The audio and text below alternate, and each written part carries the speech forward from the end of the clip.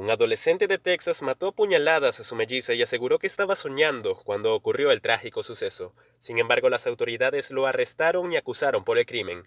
Benjamin Elliot, de 17 años, quien ha sido acusado de asesinato por la muerte de su melliza Megan Elliot, afirmó a los agentes que despertó en la habitación de ella y la vio con un cuchillo en el cuello, según informó Fox 26 de Houston.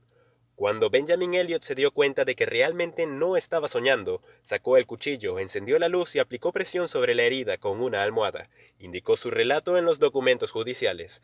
Luego corrió a su habitación para llegar a su celular y llamar al 911. Sin embargo, el adolescente fue arrestado el miércoles y registrado en la cárcel del condado Harris, mencionó la oficina del sheriff del condado Harris, citada por Fox News en su reporte sobre la tragedia publicado en la madrugada del viernes.